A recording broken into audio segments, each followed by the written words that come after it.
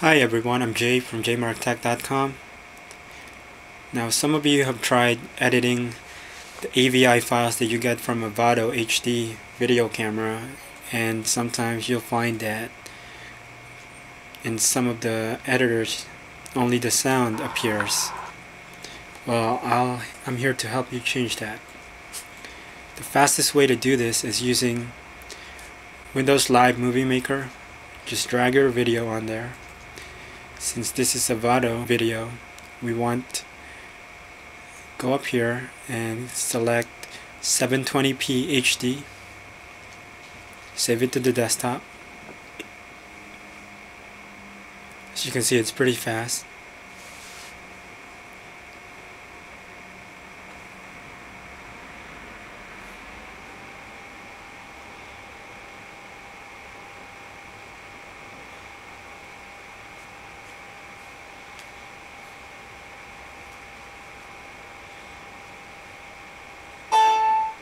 Alright, so our video is done. The second way to do it is using VirtualDub. The cool thing about this is that it lets you select the encoder. I use ffdshow video codec, configure it, select MJPEG, one pass average bitrate, and you can select the quality. I usually just go all the way to full. Click OK OK save as AVI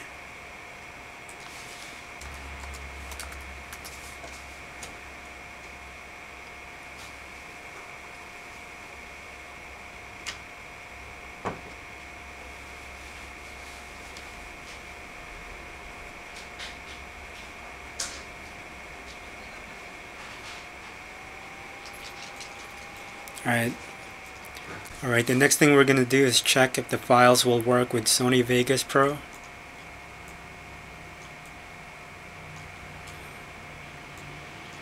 And as you can see, the video file is there. Next thing we're going to check are the video qualities. Wow.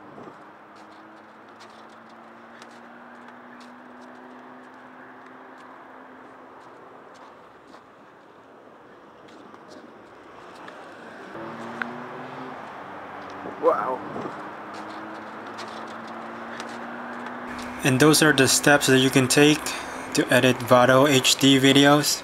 Visit jaymarktech.com for more videos.